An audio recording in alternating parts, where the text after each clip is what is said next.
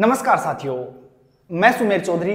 एक बार फिर से आप सभी का वेलकम करता हूँ आपके अपने YouTube चैनल कमल कनवारिया पर। साथियों, राजस्थान लाइब्रेरियन की वैकेंसी आ चुकी है और अब सभी काम छोड़ करके इस वैकेंसी में जुट जाना चाहिए।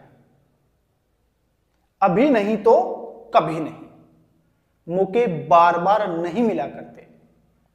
ध्यान रखिए इस चीज़ का। वैकेंसी काफ़ी सालों से आई है। अगर सिलेक्शन ले लोगे तो अपने सपनों को भी साकार कर पाओगे। नहीं, यही बछीड़ खाते हुए मिलेंगे अपन। ऐसे मौके ज़िंदगी बार बार नहीं देती है। अवसर रोज नहीं मिला करते हैं।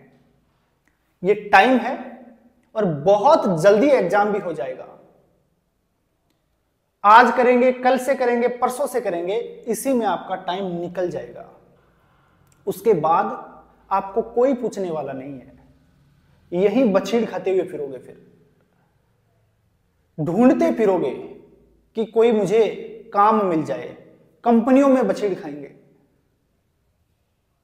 और गवर्नमेंट जॉब ऐसी नौकरी होती है जहाँ अपनी समाज में बहुत बड़ी इज़्ज़त बन जाती है। अपनी वैल्यू सिर्फ़ इस नौकरी की वजह से है। अदरवाइज़ अपन कितने ही पैसे कमा ले, समाज हमें उस नज़र से नहीं देखता जिस नज़र के हम हकदार हैं। भले ही हम प्राइवेट संस्थानों में या बाहर कितने भी पैसे कमा लें, लेकिन समाज की जो सोच है, क्योंकि अपना समाज कुछ इसी प्रकार का बना हुआ है तो समाज की सोच अपने लिए, अगर हम कोई प्राइवेट कार्य कर रहे हैं तो अच्छी कभी नहीं हो सकती। आप एक अच्छी नौकरी पकड़ लीजिए और लाइब्रेरियन तो ऐसी जॉब है कि आपकी ज़िंदगी संवार देगी। बहुत गजब की नौकरी है, बहुत इज़्ज़त की नौकरी है, बहुत ही आराम, बहुत ही आराम की नौकरी है। यह मान लीजिए आप। ईमानदारी से अगर किसी के मन में कुछ बड़ा करने की भी हो तो इस जॉब को पकड़कर वो किसी भी मुकाम तक जा सकता है। यह मैंने अब तक अनुभव किया है। मैं सबसे पहले तो आप सभी का, जिन्होंने इतना प्यार दिया है, और कमल जी सर का साथ ही साथ पुस्तकालय संघ राजस्थान से जुड़े हुए उन सभी सदस्यों का मैं धन्यवाद करता हूँ कि उन्होंने इन गरीब बच्चों के लिए, जो बेचारे इन कोचिंगों की महँगी फ़ीस भरने में असक्षम हैं। उनके लिए सोचा। उन्होंने ठाना कि क्यों ना YouTube पे कम से कम उन बच्चों के लिए तो कोर्स करवाया जाए, जो महँगी फ़ीस भरने में सक्षम नहीं है। जो बच्चे महँगी फ़ीस भरने में सक्षम हैं, जो कहीं भी, किसी भी कोचिंग में जा सकते हैं, कितनी भी फ़ीस जमा करवा सकते हैं, उनको तो इससे कोई फ़र्क पड़ने वाला नहीं है। अब मैं तो आपसे यही कहूँगा, देखो, ज़्यादा ज्ञान देना भी अच्छा नहीं रहता, क्योंकि लोग ज्ञान के भरे पड़े हैं। उनको लगता है, बोले, यार, मैं तो खुद ज्ञानी हूँ, मन के ज्ञान दे रहे हो है। मैं मानता हूँ आपकी बात। बुरा लगता है आपको, लेकिन सच में जिस दिन सफल हो जाओगे ना, उस दिन ये चीज़ें आपको अनुभव होंगी। तो मैं ज़्यादा बात नहीं करूँगा और YouTube पर आपका बातों में ज़्यादा टाइम भी खराब नहीं करूँगा। मेरा टारगेट भी यही रहता है कि मैं आऊँ और कम से कम समय में आपको ज़्यादा से ज़्यादा चीज़ें बताकर चला जाऊँ। इतना ही मेरा टारगेट होता है और मैं आपसे कमिटमेंट कर चुका हूँ कि मैं एक बार यूट्यूब पे कंप्लीट कोर्स फ्री में करवाऊँगा। यह मेरा कमिटमेंट था। और पिछले एक महीने से मैं इस पर काम कर रहा हूँ। तो शुरू करते हैं हम आज की क्लास को।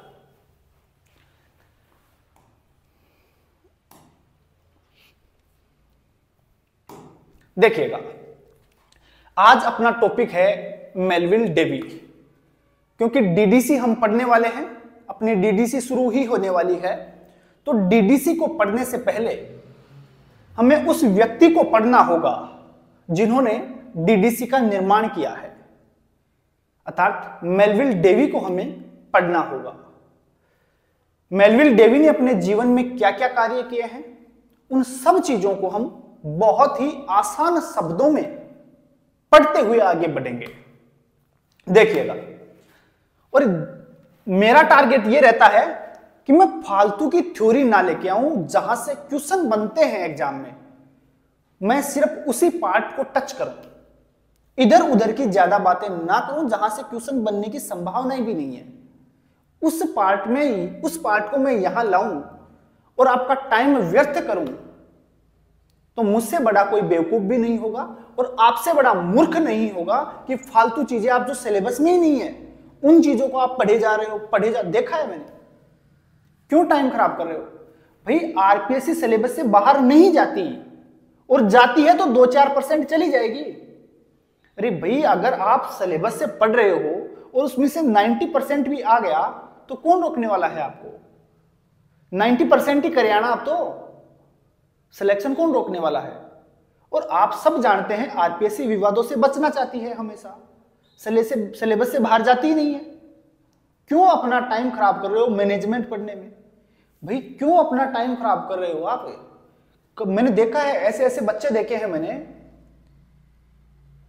जो लोग रेफरेंस सर्विस पढ़ रहे हैं रेफरेंस सोर्स पढ़ रहे हैं कंप्यूटर को बहुत अच्छे से पढ़ रहे हैं। गधों की रेस में दौड़ रहे हो क्या आप? यहाँ रेस घोड़ों की होगी। ये बेवकूफियाँ मैं कर चुका हूँ पहले। कोई फ़ायदा नहीं हुआ उसका। मुझे लगता था कि मैं लोगों से बहुत ज़्यादा पढ़ रहा हूँ। लेकिन वो चीज़ एग्ज़ाम में जब पूछी नहीं जाती, भले हम कितना पढ़ लो। क्या मतलब है? तो मैं बार बार ये कहता हूँ कि सीमित पढ़िए, लेकिन उसी को बार बार पढ़िए सिलेबस के हिसाब से पढ़िए। सिलेबस का एक एक पॉइंट अपने हाथ से नोट डाउन करिए रजिस्टर के पहले पेज पे। और टू द पॉइंट पढ़िए।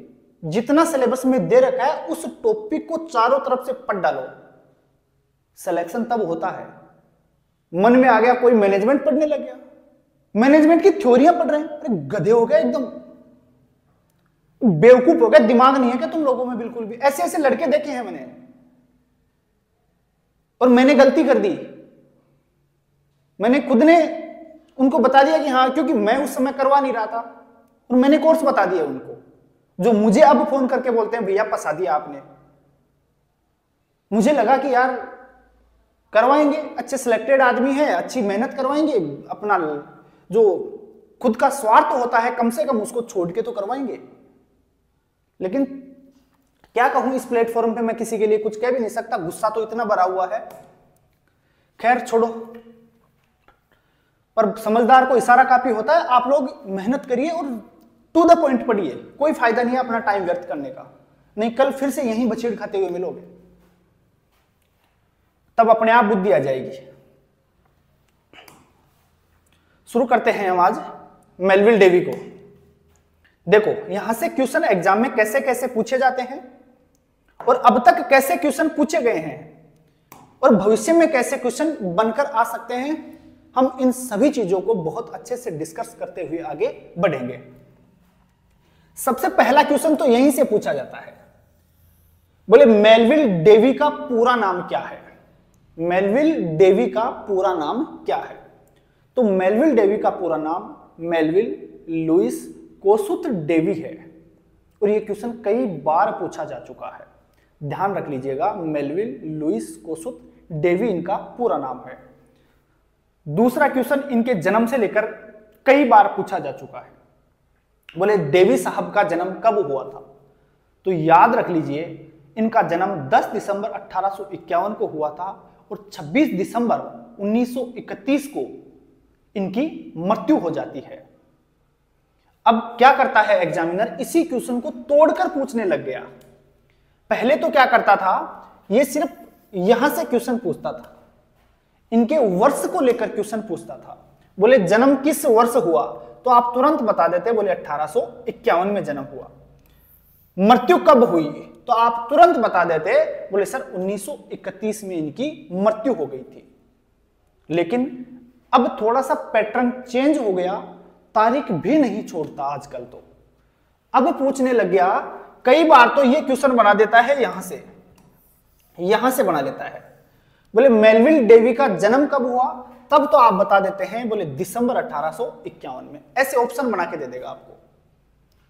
दिसंबर, नवंबर, अक्टूबर महीना चेंज कर देता है सिर्फ़, और सन वही रख देता है आगे। चेंज करने लग गया आजकल इन सबको।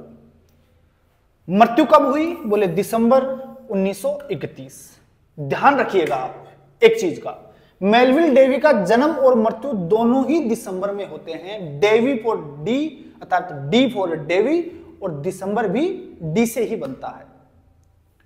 डी फॉर डेवी और डी फॉर दिसंबर। जोड़ लीजिएगा इन चीज़ों को। डी फॉर डेवी और डी फॉर दिसंबर। वसुत है भैया। डी फॉर डेवी और डी फॉर दिसंबर। तो देवी का जन्म और मृत्यु दोनों ही कब होती है? दिसंबर में होती है। ठीक है। अब आजकल यहाँ से भी पूछने लग गया। तारीख भी देने लग गया। इसका मतलब यह हुआ कि आपको कंप्लीटली याद करना ही पड़ेगा, आप बच नहीं सकते। 10 दिसंबर अठारह आपको याद करनी ही पड़ेगी। वर्ष को याद करने से काम नहीं चलेगा। मृत्यु 26 दिसंबर 1931 को। उसके बाद क्वेश्चन पूछता है इनके स्थान को लेकर भी। बोले, जन्म कहाँ हुआ और मृत्यु कहाँ हुई? तो जन्म इनका होता है एडम्स सेंटर न्यूयॉर्क में और मृत्यु कहाँ होती है? लेक प्लेस क्लब फ्लोरिडा के अंदर। अब इनको हम कैसे जोड़े डेवी के साथ? इन चीज़ों को कैसे कनेक्ट करें? क्योंकि अपने को तो एग्ज़ाम में याद करना है, अपने दिमाग में जब याद होगा तभी वहाँ क्वेश्चन कर पाएँगे। सीधा फैक्ट याद होगा तो ही हम क्वेश्चन अटेम्प्ट कर पाते हैं। देखो, लोग कहते हैं थ्योरी पढ़ो थ्योरी पढ़ो ठीक है, पढ़िए थ्योरी मैं ये नहीं कहता कि थ्योरी मत पढ़िए। लेकिन थ्योरी हम इसलिए पढ़ते हैं ताकि वो एक कहानी के रूप में अपने को याद हो जाए। लेकिन एग्ज़ाम में तो निपटना पड़ता है ना यहीं से। इन्हीं चीज़ों से निपटना पड़ता है। यही चीज़ें पूछता है। और थ्योरी के रूप में भी तो हम पढ़ ही रहे हैं। जब मैं क्वेश्चन लेके आता हूँ तो उनमें थ्योरी डालता हूँ ना मैं। नोट्स के जैसे क्वेश्चन आते हैं मेरे। देखे होंगे आपने पिछले मेरे क्वेश्चन देखिएगा, जोड़ते हैं इन चीज़ों को कनेक्ट करिएगा। एडम्स सेंटर को जोड़ते हैं। बोले मेलविल डेवी का जन्म क्वेश्चन मान लो, ऐसे आ जाए कि डेवी साहब का जन्म कहाँ हुआ था? कहाँ हुआ था? अर्थात स्थान की बात कर रहा है। और ये सब के सब ऑप्शन में दे देगा एडम सेंटर भी दे देगा लेक प्लेसिड क्लब भी दे देगा और दो ऑप्शन और डाल देगा। तो आपके दिक्कत क्या होती है? लेक प्लेसिड क्लब और एडम्स सेंटर दोनों में कंफ्यूज हो जाता है एग्ज़ाम में, क्योंकि वहाँ डबल दिमाग चलता है अपना। दिमाग भयंकर वाला चलता है वहाँ। जो सही होता है, वहाँ कभी नहीं जाता। हमेशा उल्टा दिमाग चलता है वहाँ पर। ज़्यादा दिमाग लगाते हैं वहाँ क्या करें ना डेढ़ क्षण बना हाँ आप तो ये चीज़ें मिक्स हो जाती हैं। पता नहीं चलता कि एडम्स सेंटर में जन्म हुआ था कि मृत्यु हुई थी। लेक्लेसिड क्लब में मृत्यु हुई थी कि जन्म हुआ था। यह दिक्कत करता है। तो इनको जोड़ डालिए आप। भविष्य में नहीं होगी। देखिएगा। देखो, जन्म लिखा हुआ है इधर। जन्म। तो भाई एक बात बताओ। जन्म किसी का जब भी होता है, जन्म होने पर वो दुनिया में ऐड होता है। जन्म होने का मतलब दुनिया में क्या हुआ? ऐड हो गया। तो ऐड से क्या बन जाएगा आपका? Adams Center. जन्म अर्थात दुनिया में क्या हो गया? ऐड हो गया। अब दिक्कत थोड़ी होगी। अरे, जन्म होने का मतलब है ऐड हो गया दुनिया में आकर। ऐड हुआ है ना? ऐड होगा तभी तो जन्म हुआ है। तो जन्म से अर्थात ऐड हो गया तो ऐड से एडम्स सेंटर कर लोगे? कोई दिक्कत नहीं है। अब मान लो एग्ज़ाम में एडम्स सेंटर ऑप्शन में ही नहीं दे, इसको छुपा ले और सीधा न्यूयॉर्क दे दे। बोले, बताओ अब अब क्या करो?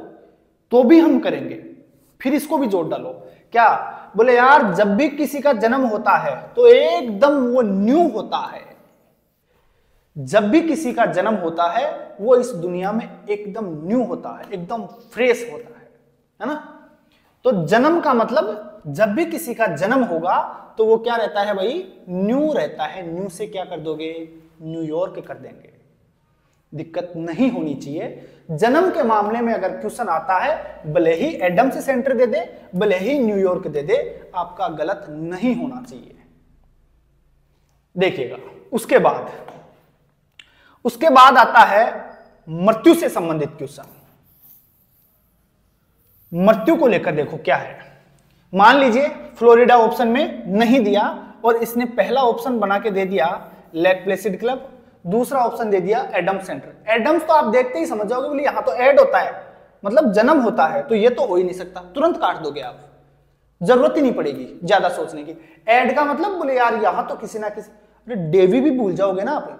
तो भी एड से पकड़ जाओगे। बोले, यार एड का मतलब ये तो जन्म वाली बात हो रही थी किसी ना किसी की। तो ये तो मृत्यु पूछ रहा है तो यहाँ तो हो ही नहीं सकता ना। ऐसे आप अपने आप काट दोगे। अगर ये भी भूल जाओगे तो डेवी का नाम भी इससे भूल जाओगे तो भी कर पाओगे। अब देखो, मृत्यु के विषय में क्वेश्चन बना दिया कि मेलविल डेवी साहब की मृत्यु कब हुई थी और ऑप्शन में डाल दिया Lake Placid Club Adam Center और दो ऑप्शन और नए बना दिए। तो कैसे जोड़ेंगे? बोले, देखो लेक का अर्थ क्या होता है भाई? वैसे देखा जाए तो झील होता है। झील लेक था झील। तो बोले, यार, जब मृत्यु हुई डेवी साहब की तो लेक के पीछे ले जाके दफना दिया। लेक के पीछे दफना दिया। मृत्यु हुई तो लेक के पीछे। लेक के पीछे कब ले गए थे? मृत्यु होने पर ले जाकर क्या कर देते हैं? वहाँ दफना देते हैं। तो लेक से Lake Placid Club. Lake Placid Club की स्थापना वैसे अठारह पिचानवे में हुई थी। आपकी जानकारी के लिए बता दूँ। मैंने ऐसे याद कर रखा है। प्लेस्ड पिचानवे, प्लेस्ड पैप और प्लेस्ड पैप और पिचानवे। प्लेस्ड पिचानवे प्लेस्ड पिचानवे। ब्यूरो है ना? ऐसे याद कर रखे ब्यूरो, लाइब्रेरी ब्यूरो की स्थापना डेवी के द्वारा करी गई थी। बयासी ब्यूरो बयासी तो ये सन आपको जोड़नी पड़ेंगी, नहीं तो खिचड़ी बन जाएगी लास्ट में कुछ समझ में ही नहीं आएगा। पता ही नहीं चलेगा कि ये किस चीज़ की सन है। तो जोड़िए इनको। प्लेस्ड पिचानो मैंने ऐसे जोड़ रखा है। और ये लेग प्लेस्ड जो क्लब था, वो एक, वैसे देखा जाए तो हेल्थ क्लब था वैसे ये। हेल्थ क्लब था ये। हेल्थ क्लब था। बाद में देखो, इसकी स्थापना भी मेलविल डेवी के द्वारा ही करी जाती है, अठारह में। और बाद में जब डेवी साहब की मृत्यु होती है तो देखो, मृत्यु भी इसी स्थान पर हो रही है। अर्थात, जिस व्यक्ति ने इसका निर्माण किया था, उसकी मृत्यु भी इसी स्थान पर हो रही है। लेक प्लेसिड क्लब 1931 में जब डेवी साहब की मृत्यु होती है तो इसी स्थान पर होती है लेक प्लेसिड क्लब जिसकी स्थापना मेलविल डेवी के द्वारा अठारह में करी जाती है। ठीक है? तो इन चीज़ों को आप ऐसे कनेक्ट कर लिया करो। अब सुनो, मान लो लेक प्लेसिड ऑप्शन में ही ना आए। बोले, गुरुजी फ्लोरिडा जाए तो के करा? फ्लोरिडा जाए तो के करा बोले? अरे, कुछ करना ही नहीं है। चीज़ें जुड़ जाती है। मैंने पहले ही दिन कहा था लाइब्रेरी साइंस में बहुत सी चीज़ें जुड़ जाती हैं। आपका आधा बर्डन तो ऐसे ही कम हो जाएगा।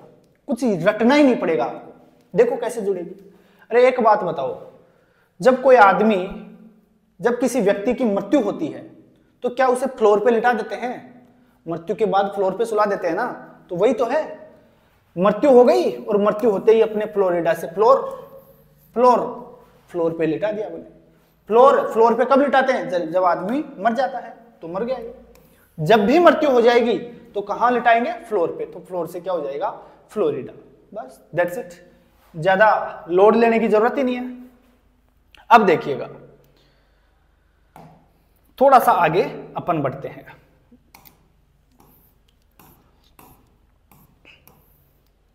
अब यहाँ से बहुत प्रकार के एग्ज़ाम में क्वेश्चन पूछे जाते हैं। बोले मेलविल डेवी ने सबसे पहले असिस्टेंट के रूप में कार्य कहाँ किया? अर्थात सहायक के रूप में कार्य कहाँ किया? मेलविल डेवी सबसे पहले लाइब्रेरियन किस कॉलेज में बने? कितने समय के लिए बने? सबसे पहले डायरेक्टर के रूप में कार्य कहाँ किया? मेलविल डेवी ने कौन कौन सी संस्थाओं की स्थापना की? कब कब उनकी स्थापना करी? कौन सी स्कूल उन्होंने खोली? लाइब्रेरी साइंस का पहला नाम उन्होंने क्या दिया? एएलए की स्थापना किस वर्ष करी? लाइब्रेरी जर्नल का प्रकाशन कब प्रारंभ किया? ये बहुत सी चीज़ें हैं जो मेलविल डेवी के संबंध में बार बार पूछी जाती हैं। तो देखिएगा, मेलविल डेवी मेलविल डेवी साहब के द्वारा अपने कैरियर की शुरुआत है। सबसे पहले, ये जो आपकी एम्स हर्ट कॉलेज है ना, जिसे, देखो, मैं एम्स हर्ट बोलता हूँ इसको। AIIMS hurt. वैसे वास्तव में अगर इसका शुद्ध नाम देखे तो एम हर्स्ट है।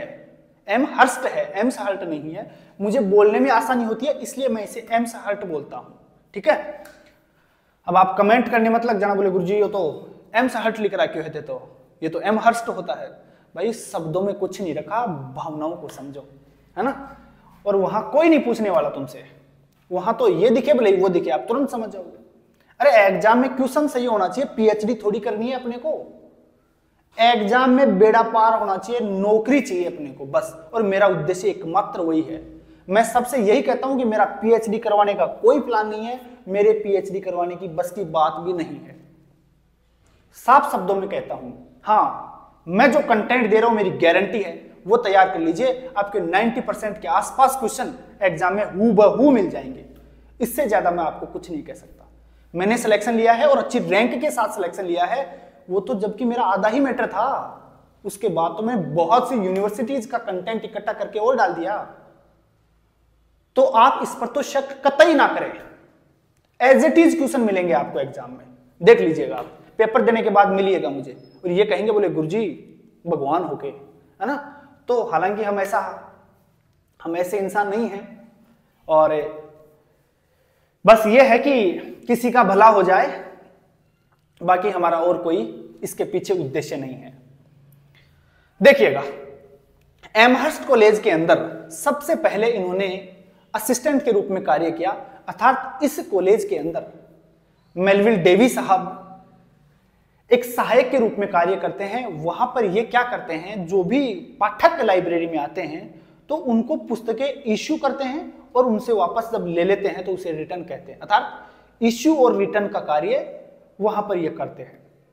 साथ ही साथ जो अलमारियों में पुस्तकों का व्यवस्थापन करना होता है, अर्थात अलमारियों में पुस्तकों का व्यवस्थापन का कार्य भी डेवी साहब करते हैं। अर्थात ये वहाँ लाइब्रेरियन नहीं थे, एक सहायक के रूप में वहाँ कार्य कर रहे थे। लाइब्रेरियन की बात आती है, क्वेश्चन पूछा जाता है कि मेलविल डेविस सबसे पहले लाइब्रेरियन कहाँ बने? तो लाइब्रेरियन के रूप में कार्य किया था इन्होंने कोलंबिया कॉलेज में। और अठारह में किया था। बाद में अठारह से शुरू करके अठारह तक वहाँ पर कार्य किया है उन्होंने। अठारह से नवासी तक वहाँ कार्य किया है। और निवासी में वहाँ से चले जाते हैं। कौन ले जाता है? जो न्यूयॉर्क स्टेट लाइब्रेरी है, वो इनको यहाँ से उठा ले जाते हैं। और ले जाकर डायरेक्टर बना देते हैं, निदेशक बना देते हैं। अठारह में वहाँ जाकर डायरेक्टर बन जाते हैं और 1906 तक लगातार न्यूयॉर्क स्टेट लाइब्रेरी में इनके द्वारा कार्य किया जाता है। और बहुत महँगी फ़ीस, अर्थात महँगी सैलरी डेविस साहब इसके लिए लेते हैं। उस जमाने के 3500 डॉलर उसके लिए सैलरी लेते हैं मेलविल डेवी साहब। तो खैर, चर्चा करेंगे हम इन चीज़ों की तो। तो देखो, अब देखिएगा। सर्वप्रथम सहायक के रूप में कार्य किया कहाँ पर? एमसार्ट कॉलेज में। उसके बाद ए एल ए देखिएगा। इसके बारे में थोड़ी सी चर्चा कर लेते हैं। जब मेलविल डेवी का नाम आ गया तो थोड़ा सा इसके बारे में अपन डिस्कस कर ही लेते हैं। देखो। ए एल ए इसका पूरा नाम होता है American Library Association Association American Library Association A L A का पूरा नाम क्या है? अमेरिकन लाइब्रेरी एसोसिएशन इसकी स्थापना, अर्थात ए एल ए की स्थापना करने वाले व्यक्ति कौन थे? मेलविल डेवी थे। और मेलविल डेवी के द्वारा इसकी स्थापना स्थापना इन्होंने करी थी, है ना? मेलविल डेवी के द्वारा ए एल ए की स्थापना कब करी जाती है? अठारह में। अठारह में इसकी स्थापना मेलविल डेवी के द्वारा की जाती है। अब सुनिए, ये जो अठारह है ना, ये बहुत काम की सन है। ये बार बार आपको देखने को मिलेगी। कब कब मिलेगी मैं बता देता हूँ, आपको साथ ही जोड़ देता हूँ। चलो आज इसको भी। अठारह के अंदर देखो, सबसे पहले तो ए की स्थापना हो गई। एक चीज़ तो ये हो गई आपकी। एएलए की स्थापना हो जाती है। अठारह के अंदर ही आपकी डीडीसी का फ़र्स्ट पब्लिकेशन पहला प्रकाशन हो जाता है। डीडीसी का पहला प्रकाशन मेलविल डेवी के द्वारा कर दिया जाता है अठारह में। हालाँकि डीडीसी का निर्माण इन्होंने अठारह में ही करके रख लिया था, बाद में अठारह में इसका प्रकाशन किया था। तो निर्माण से संबंधित क्वेश्चन आए तो अठारह बताइएगा, और जब डीडीसी के पहले प्रकाशन की बात करें तो अठारह बताइएगा 76 बताइएगा। एक चीज़ और है, अठारह में, यहाँ पर लाइब्रेरी जर्नल लाइब्रेरी जर्नल की स्थापना भी मेलविल डेवी साहब के द्वारा करी जाती है 1800 स्थापना क्या? सॉरी इसका प्रकाशन। लाइब्रेरी जर्नल का प्रकाशन।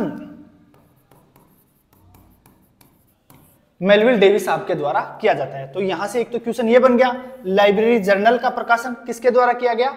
मेलविल डेवी के द्वारा। कब किया गया? अठारह में। डीडीसी का प्रकाशन पहला अठारह में। एएलए की स्थापना अठारह में। अब सुनिए।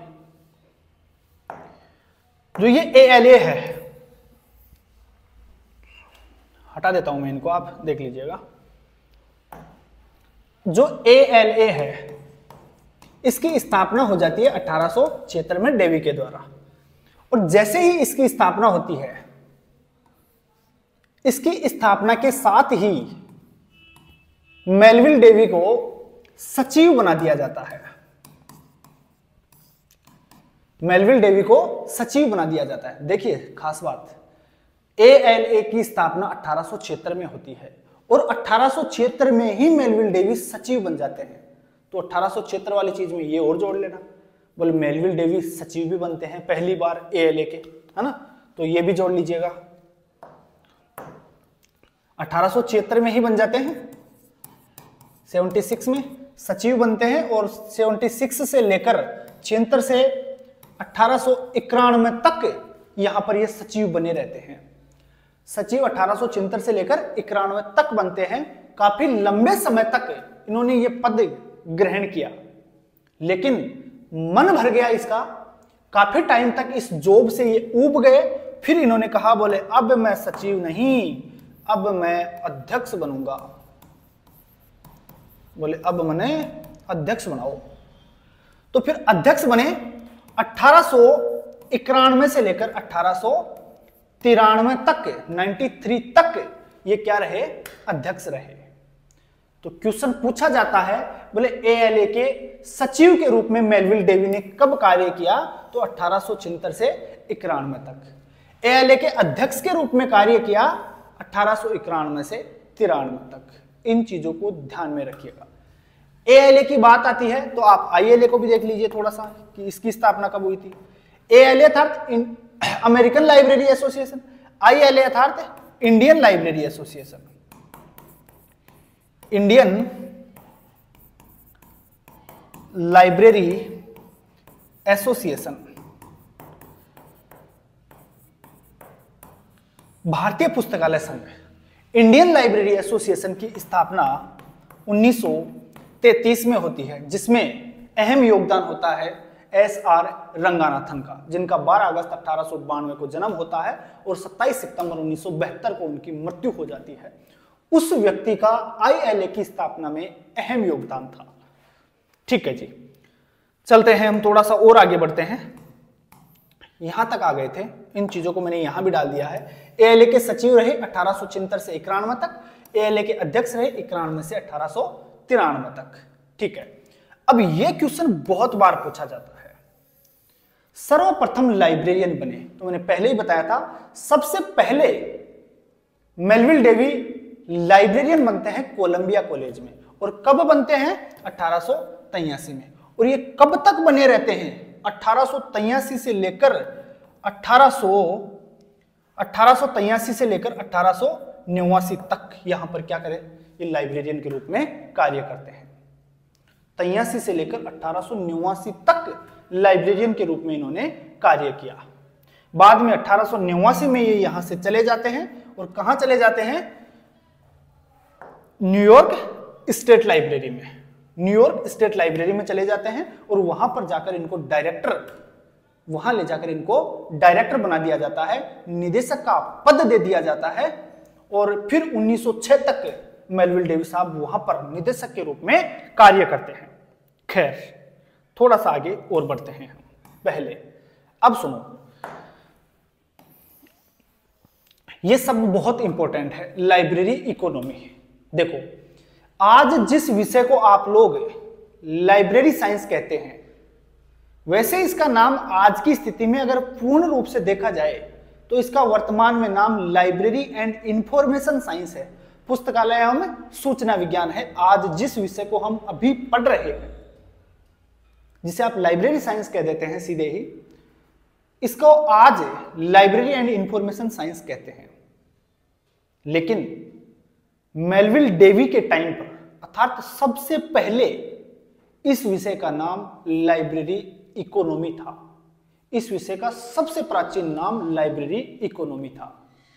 बाद में समय समय पर इसके नाम परिवर्तित होते गए। जैसे 1800 मेलविल डेवी का जन्म अठारह सौ इक्यावन और मृत्यु 1931 इस टाइम पीरियड की बात है। मेलविल डेवी ने एक स्कूल भी खोली थी, स्कूल लाइब्रेरी इकोनॉमी, जो अठारह में जिसकी स्थापना करी थी। बाद में लगभग दो साल के आसपास वो चली और उसका भारी विरोध किया गया तो फिर मेलविल डेवी साहब को वो स्कूल बंद करनी पड़ी। उस स्कूल में पहली बार लाइब्रेरी साइंस की शिक्षा भी दी गई। जीवन में अर्थात आज तक के इतिहास में पहली बार अगर पूछा जाए कि लाइब्रेरी साइंस की शिक्षा कहाँ प्राप्त हुई थी तो वो मेलविल डेवी की स्कूल थी, स्कूल लाइब्रेरी इकोनॉमी जिसकी स्थापना मेलविल डेवी साहब ने अठारह में करी थी। बोले, स्कूल में जासी तो लाइब्रेरी स्कूल की लाइब्रेरी में जासी तो इकोनॉमी सिक्यासी सिक्यासी सित्यासी जोड़ लीजिएगा आप ऐसे तो लाइब्रेरी इकोनॉमी की बात चल रही थी। सबसे पहले मेलविल डेवी ने यह शब्द दिया और इस विषय का नाम भी सबसे पहले लाइब्रेरी इकोनॉमी डेवी साहब ने ही प्रदान किया। लेकिन डेवी साहब के बाद एक व्यक्ति होते हैं जो डेवी के ही शिष्य थे, जिन्हें आप डब्ल्यू सी बी सेर्स के नाम से जानते हैं। जिनका अठारह सौ इक्यासी में जन्म होता है और 1960 में उनकी मृत्यु हो जाती है। डेवी के ही शिष्य थे। जब उनका काल आया तो उन्होंने इसका नाम बदल दिया लाइब्रेरी इकोनॉमी का नाम बदल दिया और उन्होंने इसका नया नाम रखा लाइब्रेरियनशिप। फिर उनके एक शिष्य हुए, रंगानाथन साहब, शेर्स के भी शिष्य हुए। शेर्स के शिष्य अर्थात रंगानाथन ने फिर से इसका नाम बदल दिया और उन्होंने नाम बदलकर लाइब्रेरी साइंस रख दिया, जिसे हम पढ़ते हैं। आज कहते हैं ना लाइब्रेरी साइंस। तो डेवी साहब ने नाम रखा लाइब्रेरी इकोनॉमी शेयर्स ने रखा, उसके बाद लाइब्रेरियनशिप, और उसके बाद शेयर्स के शिष्य ने इसका नाम रख दिया, रंगानाथन ने क्या नाम रख दिया? Library science. अब रंगानाथन के गुजर जाने के बाद बहुत से विद्वान फिर से हुए। उन सब विद्वानों ने इसका नाम फिर से बदल दिया, और वर्तमान में जो इसका नाम है, लाइब्रेरी एंड इंफॉर्मेशन साइंस, वो रख दिया। तो ये एक सीरीज़ बन जाती है। बहुत बढ़िया तरीके से आप इनको कनेक्ट करिए सीरीज़ बनाकर जोड़िए और याद करिएगा। आगे बढ़ते हैं थोड़ा सा। चलो जी। ये बताई दिया लाइब्रेरी इकोनॉमी मेलविल डेवी ने ये शब्द दिया था और पुस्तकालय विज्ञान का प्रथम नाम था। ठीक है। अब देखिए, ये जो मैंने सीरीज़ बताई है, प्रारंभ से वर्तमान तक, पुस्तकालय विज्ञान के क्या क्या नाम रहे? मैंने एक जगह यहाँ डाल दिया है ताकि समस्या आपको बिल्कुल भी नहीं हो। मैं आपको पकी पकाई खिचड़ी दे रहा हूँ। सिर्फ़ आपको खाना है है ना? अब खा भी नहीं सकते तो फिर आपका कुछ नहीं हो सकता। उम्मीद करता हूँ शायद, देखो, जब नया वीडियो आए, इससे पहले का कंटेंट आप तैयार करके आइए। नई क्लास से पहले आप पूरा कंटेंट बढ़िया तरीके से तैयार करके आइए, अगले टॉपिक पे आने से पहले ही अगली क्लास से पूर्व ही सब की सब बातें आपके याद होनी चाहिए ताकि आपके कंटेंट और जो ये कड़ियाँ हैं, वो सब की सब आपस में जुड़ सकें। अदरवाइज़ तो खिचड़ी बन जाएगी, कुछ भी समझ में नहीं आएगा। आप गालियाँ और दोगे बोले, बाद में, पीछे से। बोले, आयो हो एक, है ना? तो याद करके आप ज़रूर आइएगा। मैं आपको सारा कंटेंट निकाल के बहुत सी किताबों से निकाल करके एक जगह व्यवस्थित रूप से करवा रहा हूँ। बहुत सी यूनिवर्सिटी की किताबें हैं, मेरे खुद के नोट्स हैं जिनसे मैंने खुद ने सिलेक्शन लिया है। उसके अलावा भी बहुत सी यूनिवर्सिटीज की किताबें मैंने एक जगह लगाई हैं। उनसे मुझे लगा कि हाँ ये अच्छा अच्छा कंटेंट है। वो चीज़ें मैं आपके सामने परोस रहा अब खाओ तो सही। देखो, एक शब्द आया था, सबसे पहले क्या था? लाइब्रेरी इकोनॉमी किसने दिया था? मेलविल डेवी ने। इसके बाद इनके शिष्य हुए शेयर्स उन्होंने दिया लाइब्रेरियनशिप। उसके बाद उसके शिष्य हुए तो उसने नाम दिया लाइब्रेरी साइंस। और वर्तमान में फिर इसका नाम रख दिया लाइब्रेरी एंड इंफॉर्मेशन साइंस। अब सुनिए। मेलविल डेवी की बात आ रही है। और मेलविल डेवी का जीवन काल तो आपको याद होगा ही। जन्म अठारह और मृत्यु 1931 अर्थात 10 दिसंबर अठारह और 26 दिसंबर 1931 खैर, अपन सन ही ले रहे हैं। यहाँ शेयर्स का ले लीजिए। शेयर्स महोदय का जन्म होता है 1860 में। ओ सॉरी मिट जा भाई केचा है। जन्म होता है 1881 में और मृत्यु होती है 1960 में। शेयर्स महोदय की, ये शेयर्स महोदय का जीवन काल हो गया। उसके बाद आते हैं रंगानाथन। जन्म होता है 12 अगस्त अठारह अर्थात अठारह में जन्म, और 27 सितंबर 1972 में इनकी मृत्यु हो जाती है। यह इनका जीवन काल हो गया। अब सुनिए, मेलविल डेवी का चेला कौन? शेयर्स। शेयर्स का चेला कौन? रंगानाथन। ये कड़िया बन गई। देखो, मेलविल डेवी का संबंध कहाँ से था? अमेरिका। शेयर्स का संबंध कहाँ से था? इंग्लैंड। और रंगानाथन का संबंध कहाँ से था? इंडिया, अर्थात भारत। अब देखो, ये चेले भी कहाँ जाके बनाते हैं? ये देखिए, गुरु शिष्य परंपरा देखिए, एक अमेरिका का है, वो इंग्लैंड में जाके चेला बना रहा इंग्लैंड वाला है, वो भारतीय को चेला बना रहा है। मतलब और इधर इधर से देखो तो एक इंडियन है, रंगानाथन साहब, ये गुरु बनाते हैं इंग्लैंड में जाकर। और इंग्लैंड कब जाते हैं आपको याद होना चाहिए? बता देता हूँ मैं। ऐसा रंगानाथन, बोले यार गुरुजी, इसको गुरु बनाने के लिए रंगानाथन साहब कब चले गए थे इसके पास? लंदन में कब चले गए थे? तो देखिएगा, रंगानाथन साहब 1924 में अपनी लाइब्रेरी साइंस की पढ़ाई के लिए जाते हैं लंदन में, इंग्लैंड में। और 1924 में जाकर 1925 में वापस इंडिया आ जाते हैं। अर्थात कुल नौ महीने तक उन्होंने लाइब्रेरी साइंस की पढ़ाई करी कहा? इंग्लैंड पर। और ये टाइम भी पूछा जाता है, कितने महीने रहे? नौ महीने। ये चीज़ पूछी जाती है एग्ज़ाम में। लंदन में या इंग्लैंड में रंगानाथन साहब कितने दिन रहे थे या कितने महीने रहे थे या कितने समय के लिए रहे थे? तो आप क्या बताएँगे? बोले, नौ महीने। कब गए थे? ये भी पूछा जाता है। 1924 में गए। बोले, कब आए थे? ये भी पूछा जाता है। 1925 में। 24 में गए 25 में आए। बीच में वहाँ कितने दिन रहे? नौ महीने तक। वहाँ सेल्स महोदय को गुरु बनाकर इन्होंने लाइब्रेरी साइंस का अध्ययन किया। इसलिए ये गुरु शिष्य का यहाँ पर संयोग बना। सेल्स महोदय, इन्होंने गुरु बनाया मेलविल डेवी को। देखो, एक कहते हैं ना कि एक बार मेलविल डेवी साहब अपने जीवन के अंतिम पड़ाव में थे, उस समय की बात है। ज़्यादा स्वास्थ्य उनका साथ नहीं दे रहा था तो उनको महसूस हुआ कि अब मैं शायद इस पर ज़्यादा मेहनत नहीं कर पाऊँगा। वो बुज़ुर्ग हो गए थे। लगभग उन्होंने अपने जीवन के 80 साल बिताए हैं। और खास बात एक और है 80 साल ही लगभग रंगानाथन साहब ने बिताए हैं। तो एक भारतीय और अमेरिकन, दोनों ने लगभग 80-80 साल उम्र यहाँ बिताई है। यह भी संयोगी ही रहा। खैर, जब मेलविल डेवी साहब बूढ़े हो गए या फिर उनका स्वास्थ्य साथ नहीं दे रहा था तो उन्होंने अपने शिष्य को कहा, और उनका शिष्य कौन था? शेयर्स महोदय। तो उन्होंने शेयर्स से कहा, बोले, मुझे ऐसा व्यक्ति चाहिए, जो मेरे डीडीसी को, डीडीसी दी थी ना उन्होंने तो मेरे डीडीसी को बहुत अच्छे तरीके से संचालित कर ले, बहुत अच्छे तरीके से इसका मैनेजमेंट कर ले और आगे इसमें संशोधन वो करता रहे समय समय के अनुसार।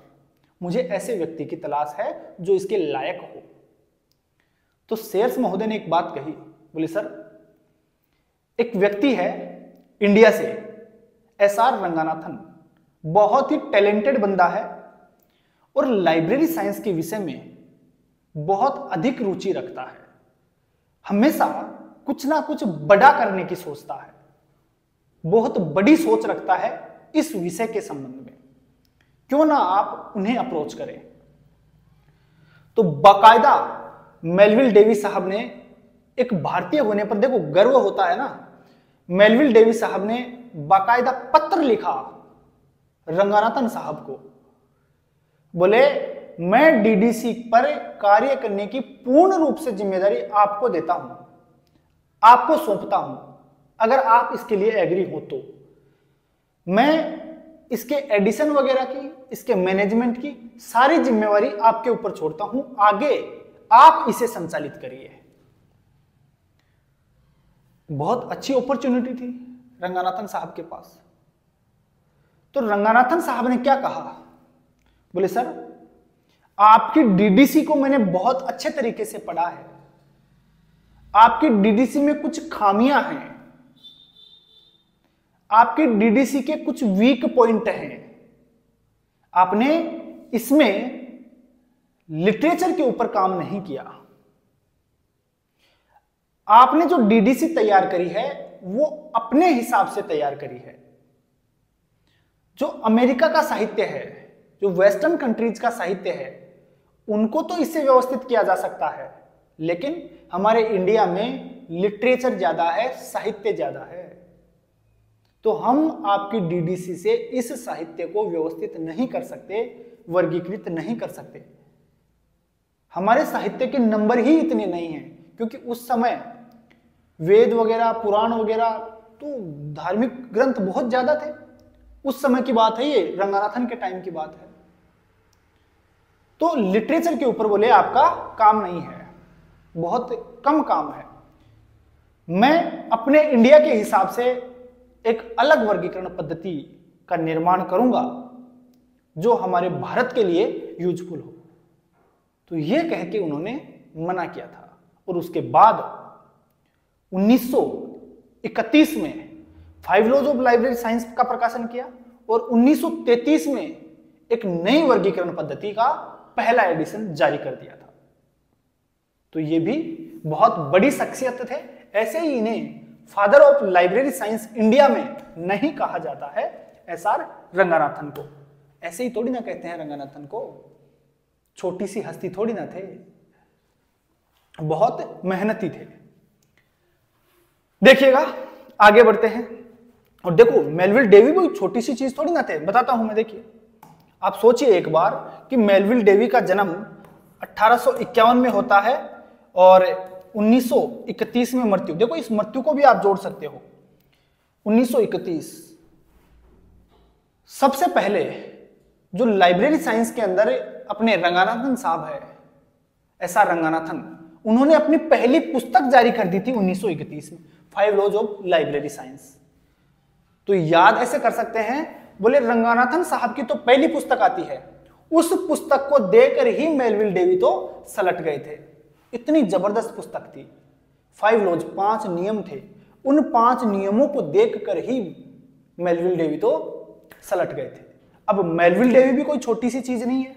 बहुत बड़ी हस्ती है। लाइब्रेरी साइंस के विषय में बहुत बड़ा नाम है। मैं ये कहूँ कि सबसे बड़ा नाम है तो गलत नहीं होगा।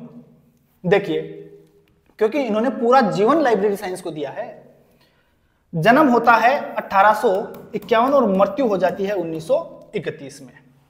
देखिएगा आप डीडीसी का निर्माण कर दिया था इन्होंने अठारह में। जिस व्यक्ति का जन्म अठारह में हो, हो गया हो अठारह और तिहत्तर माइनस करिए 22 साल की उम्र में तो इन्होंने वर्गीकरण की पद्धति बना दी थी 22 साल की उम्र में। आज भी हमें वर्गीकरण को पढ़ने में, समझने में समस्या होती है। जो लिखा हुआ है ऑलरेडी उसको समझने में भी समस्या होती है। इस बंदे ने तो 22 साल की उम्र में सभी पुस्तकों का वर्गीकरण करके वर्गीकरण की पद्धति जारी कर दी थी। अर्थात पद्धति का निर्माण कर दिया था और 25 साल की उम्र में फिर उसका प्रकाशन कर दिया अठारह में। तो 22 साल कोई ज़्यादा बड़ी उम्र थोड़ी ना है। तो ऐसे ही थोड़ी ना इनको याद किया जाता है। आगे चलते हैं थोड़ा सा। अब देखो, कुछ इंपॉर्टेंट फैक्ट हैं जो कि बार बार एग्ज़ाम में पूछे जाते हैं, इसलिए यहाँ करवाना बहुत ज़रूरी था। कई बार पूछे जा चुके हैं। लाइब्रेरी जर्नल वैसे तो मैंने बता दिया। लाइब्रेरी जर्नल अठारह में प्रकाशन किसने किया? मेलविल डेविस साहब ने। सीधा सीधा याद कर लेना। लाइब्रेरी ब्यूरो ब्यूरो बयासी मैंने बोला था ना ब्यूरो बयासी जोड़ लीजिएगा इनको। ब्यूरो बयासी तो ब्यूरो कब आती है? बयासी में। लेक प्लेसिड क्लब अठारह प्लेसिड अर्थात प्लेस्ड पिचानवे प्लेस्ड पिचानवे। पे पे पे। जोड़ दीजिए, पे पे पे। प्लेस्ड पिचानवे में। ठीक है? स्कूल लाइब्रेरी इकोनॉमी बोले स्कूल की लाइब्रेरी में जासी। तो इकोनॉमी तो सिक्यासी, सित्यासी सिक्यासी, सित्यासी। जोड़ दीजिएगा। स्कूल की लाइब्रेरी में इकोनॉमी तो सिक्यासी, अर्थात सत्यासी। किसने? निर्मित किया या इस संस्था इस संस्था का निर्माण किसने किया? मेलविल डेविस साहब ने। कब किया? अठारह में। ठीक है। ये लाइब्रेरी साइंस का क्या था भाई? प्रथम स्कूल था। ये बात हम ऑलरेडी कर चुके हैं। खैर, ये दो चीज़ें और हैं। मेलविल डेवी के द्वारा ही नॉर्थवुड स्कूल की स्थापना भी करी जाती है और वन प्रेस की स्थापना भी मेलविल डेवी के द्वारा करी जाती है। मैंने खूब कोशिश करी। मुझे इनकी सटीक ऑथेंटिक प्रूव नहीं मिला, वर्ष का। इसलिए मैंने वर्ष नहीं डाला है। मैंने खूब ढूंढा, लेकिन देखो, मिलते तो खूब हैं, लेकिन ऑथेंटिक सोर्स होना चाहिए ना। मैं गलत याद करवा दू, क्या मतलब है? मैंने बहुत सी किताबें भी देखी, बहुत सी यूनिवर्सिटीज की बुक्स भी देखी, लेकिन मुझे ऑथेंटिक सोर्स इनका नहीं मिला। इसलिए मैंने इनकी, और ना ही इनकी सन आज तक पूछी गई है, क्योंकि मैंने इतना सर्च किया है, मुझे नहीं मिला। तो फिर ऐसे गलत करवाने से तो कोई फ़ायदा भी नहीं है। इसलिए एग्जामिनर भी इन चीज़ों को फालतू में नहीं डालना चाहता, ऐसी चीज़ों में उलझना नहीं चाहता।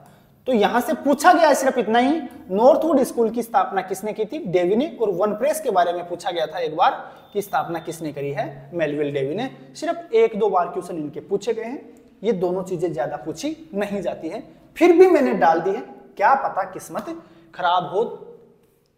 बोले, किस्मत खराब है ना?